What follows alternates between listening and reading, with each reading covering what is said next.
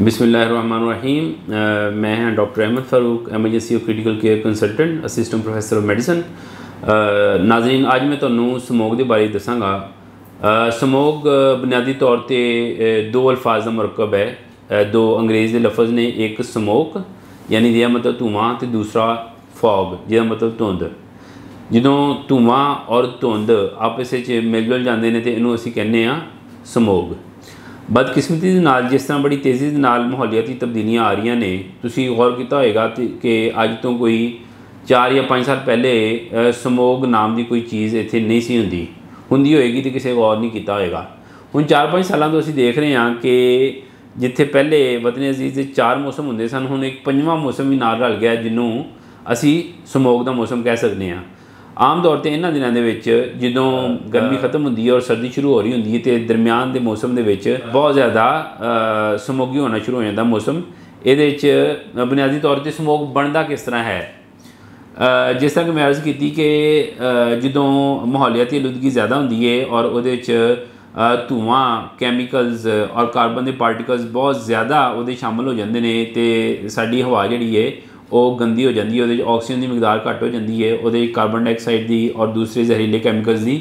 ਮਿਕਦਾਰ ਜ਼ਿਆਦਾ ਹੋ ਜਾਂਦੀ ਹੈ ਤੇ ਉਹ ਸਮੋਗ ਦੀ ਸ਼ਕਲ ਇਖਤਿਆਰ ਕਰ ਲੈਂਦੀ ਹੈ ਯਾਨੀ ਗਾੜੇ ਸੰਘਣੇ ਧੂਵੇਂ ਦੀ ਤਰ੍ਹਾਂ ਨਜ਼ਰ ਆਉਂਦੀ ਹੈ। ਜਿਹੜੀ ਫੌਗ ਹੁੰਦੀ ਹੈ, ਉਹ ਵੈਸੇ ਤੁਹਾਡੀ ਸਿਹਤ ਦੇ ਉੱਤੇ ਕੋਈ ਬੁਰਾ ਅਸਰ ਨਹੀਂ ਡਾਲਦੀ ਕਿਉਂਕਿ ਉਹ ਖਾਲਸ ਹੁੰਦੀ ਹੈ, ਉਹਦੇ ਵਿੱਚ ਜ਼ਹਿਰੀਲੇ ਕੈਮੀਕਲ ਜ਼ਹਿਰੀਲੀਆਂ ਦੂਸਰੀਆਂ ਗੈਸਾਂ ਨਹੀਂ ਹੁੰਦੀਆਂ। ਸਮੋਗ ਦੇ ਵਿੱਚ ਸਾਨੂੰ ਕੀ ਇhtiyat ਕਰਨੀ ਚਾਹੀਦੀ ਹੈ?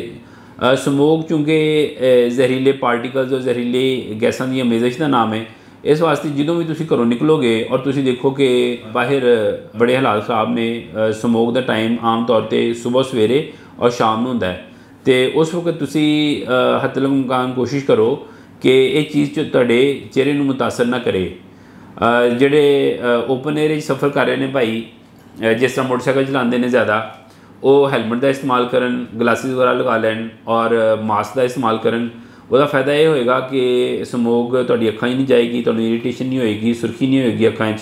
ਔਰ ਇਸ ਤੋਂ ਇਲਾਵਾ ਤੁਹਾਡੇ ਨੱਕ, ਮੂੰਹ ਔਰ ਸਾਹ ਦੇ ਜ਼ਰੀਏ ਫੇਫੜਿਆਂ 'ਚ ਨਹੀਂ ਜਾਏਗੀ। ਜਦੋਂ ਇਹੀ ਸਮੋਗ ਫੇਫੜਿਆਂ ਜਾਂਦੀ ਹੈ ਤੇ ਬਹੁਤ ਸਾਰੇ ਅਲਰਜੀ ਦੇ ਔਰ ਦਮੇ ਦੇ ਮਰੀਜ਼ ਜਿਹੜੇ ਨੇ ਉਹਨਾਂ ਨੂੰ ਸਾਹ 'ਚ ਰੁਕਾਵਟ ਹੁੰਦੀ ਹੈ।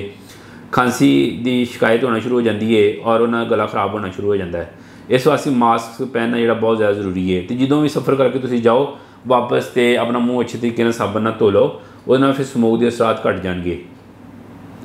ਇਸ ਤੋਂ ਇਲਾਵਾ ਅ, ਸਮੋਗ ਦੇ ਜ਼ਹਿਰੀਲੇ ਅਸਰਾਤ ਨੂੰ ਘੱਟ ਕਰਨ ਵਾਸਤੇ ਪਾਣੀ ਦਾ ਇਸਤੇਮਾਲ ਜ਼ਿਆਦਾ ਕਰੋ ਨੀਮ ਗਰਮ ਪਾਣੀ ਨਾਲ ਗਰਾਰੇ ਕਰੋ ਤਾਂ ਕਿ ਤੁਹਾਡਾ ਗਲਾ ਸਾਫ਼ ਰਹੇ।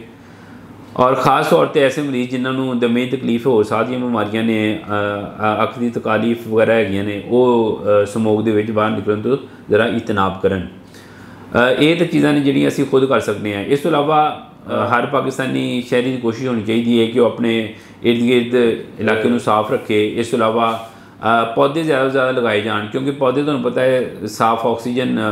ਖਾਰਜ ਕਰਦੇ ਨੇ, ਜਿਹਦੀ ਵਜ੍ਹਾ ਨਾਲ ਮਾਹੌਲੀਆਤੀ ਆਲੂਦਗੀ ਘੱਟ ਹੁੰਦੀ ਹੈ, ਹਵਾ ਸਾਡੀ ਸਾਫ਼ ਹੋ ਜਾਂਦੀ ਹੈ ਔਰ ਸਮੋਗ ਵਾਲਾ ਮਸਲਾ ਉਹਦੇ ਨਾਲ ਕਾਫੀ ਹੱਦ ਤੱਕ ਘੱਟ ਹੋ ਜਾਏਗਾ। ਬਾਕੀ ਬਹੁਤ ਸਾਰੇ ਕੰਮ ਜਿਹੜੇ ਨੇ ਉਹ ਹਕੂਮਤ ਦੇ ਕਰਨ ਵਾਲੇ ਨੇ। ਜਿਸ ਤਰ੍ਹਾਂ ਕਿ ਤੁਸੀਂ ਸੁਣਿਆ ਹੋਏਗਾ ਬਹੁਤ ਸਾਰੀਆਂ ਹਕੂਮਤਾਂ ਜਿਹੜੀਆਂ ਮਿਲ ਕੇ ਹੁਣ ਜਿਹੜੇ ਪੈਟਰੋਲ ਵਾਲੀਆਂ ਕਾਰਾਂ, ਗੱਡੀਆਂ ਔਰ ਮੋਟਰਸਾਈਕਲਾਂ, ਇਹਨਾਂ ਨੂੰ ਐਸਾ ਐਸਾ ਘੱਟ ਕਰ ਰਹੀ ਹੈ ਔਰ ਇਲੈਕਟ੍ਰਿਕ ਬਾਈਕਸ